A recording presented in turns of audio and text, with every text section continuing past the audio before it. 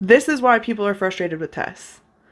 All of these things are contradictions, so not they can't all be true at the same time, which means somewhere in the story something is a lie. The shirt kind of looks like the blanket hoodie, but I promise it's not the blanket hoodie. It's actually like a Valentine's Day shirt that I love. So we're we're going places. I have escaped the blanket hoodie phase of recovery. Every time, every time I sit down to film, it's like it's like they know these upstairs neighbors. They're like, "What are you what are you doing down there? Can we disrupt you?" I will say though, I did finally meet her and um I think she's just a chronically loud old lady. Like, you know, the old ladies who always talk like they're yelling. Like, that is her entire MO. She's really awesome, except for she's literally almost burned our entire apartment complex down like three times. And she's only lived here for like a month. So I'm gonna need her to calm down. But anyway, if you can hear that, I am so sorry. Hey everyone, welcome back to the channel. My name is Sam. If you're not new to the channel and you keep coming back week after week, thank you. I appreciate each and every one of you. If you are new here and this is the first time you are seeing my face, welcome. I make weekly videos dissecting internet nonsense, so if you're into that type of thing, or you like today's video, I hope that you'll consider liking and subscribing.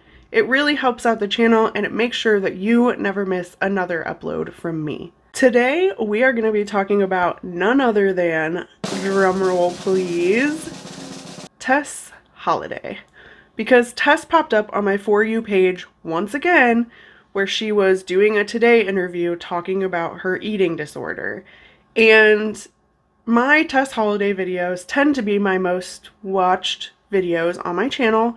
And if Tess can keep going out and peddling this same lie and making money off of it, well, I'm here to match that energy, making money letting people know that she is lying to her audience one way or another. Because every single time she does one of these interviews and peddles this sort of myth, I guess I'll call it, she gains a little bit more of a following. So, um, might get a little interesting up in here. Without further ado, let's start with the TikTok that dropped me straight back into the Tess Holliday rabbit hole. Take a look. I get this comment a lot anytime I publicly talk about my ED. And you don't have to believe me, but do you really think that the medical community and nutritionists and all of the experts that they interview when they also interview me that agree with me, do you think that they're all lying? So just remember how absolutely batshit crazy you sound saying this because I'm right, you're wrong. now, this TikTok caught my attention because it let me know immediately that Tess is back out on the media trail peddling this information about her restrictive eating disorder. Um, and we'll just refer to it as that. Um, I'll put it on the screen here, but a girl ain't trying to get demonetized. So we'll never say it actually out loud, she is claiming to have a restrictive eating disorder. So anyway, she made it clear that she was back out there on the media trail peddling this story talking about restrictive eating disorders and body size and how you can't tell what kind of eating disorder someone has based on the size of their body. So of course, I scrolled through her TikTok page and I found out that she had done another interview and she posted the interview on her TikTok in two parts so I'm going to go ahead and show those two parts. I'm going to clip um, so you're only getting the most important pieces, but I am going to put them together and then we will unpack it after you've seen the interview.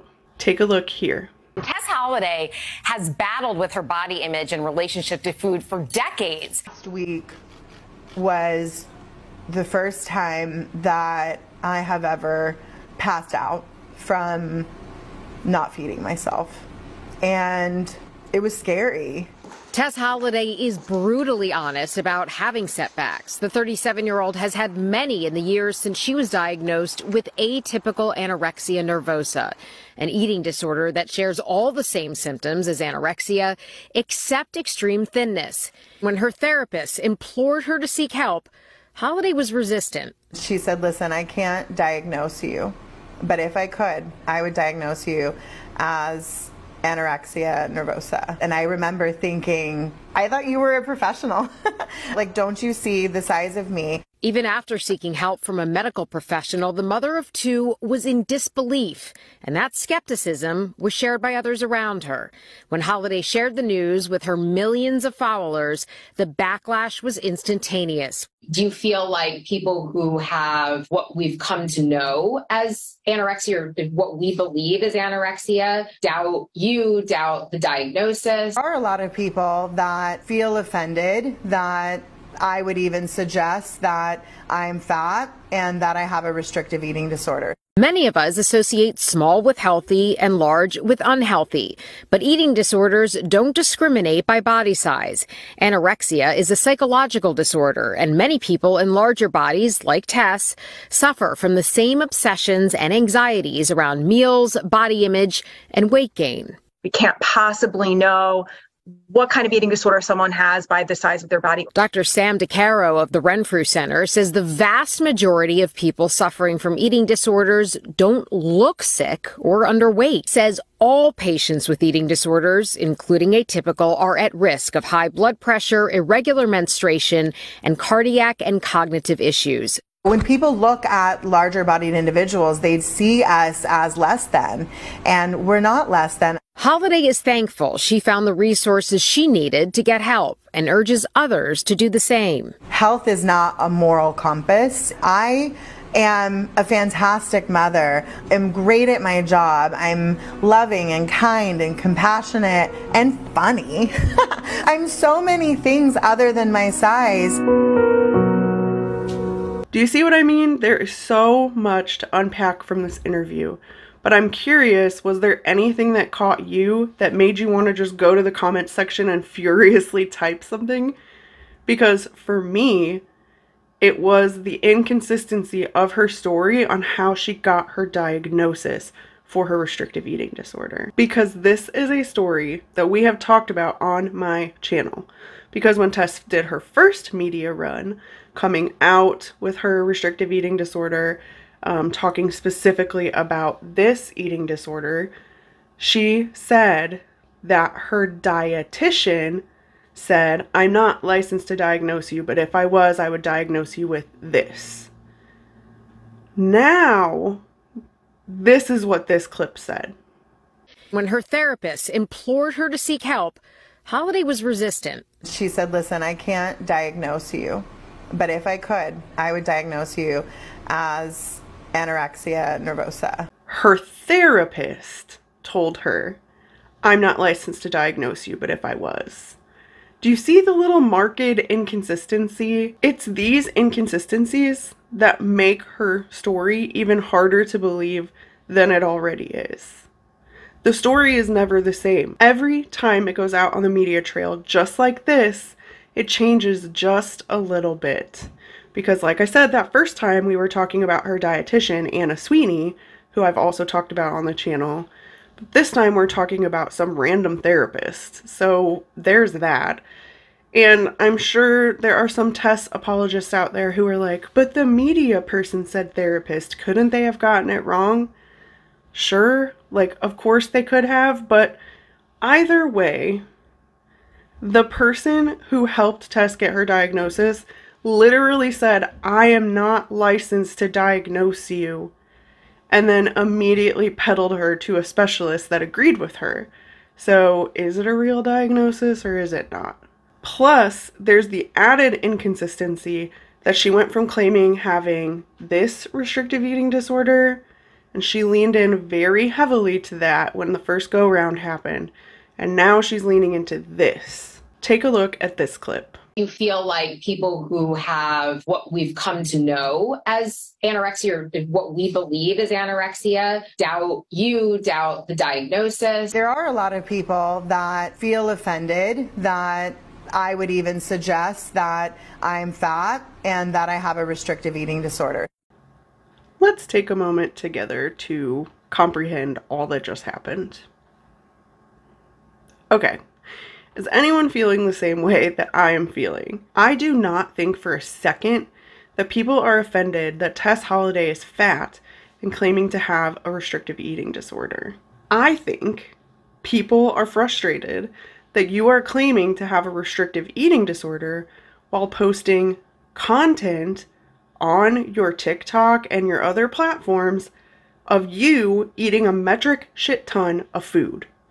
Let me show you what I mean.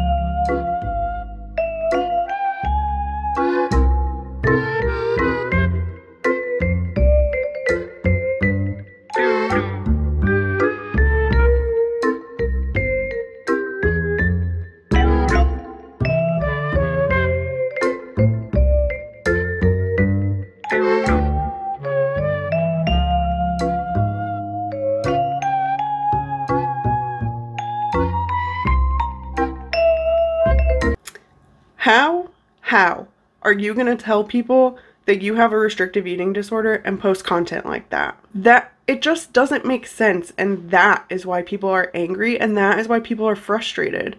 Your story's inconsistent and for someone who is supposed to be afraid of gaining weight, afraid of eating in front of other people, there are other things that go along with the restrictive eating disorder she's claiming to be diagnosed with and she's doing the opposite of that on her very public platform.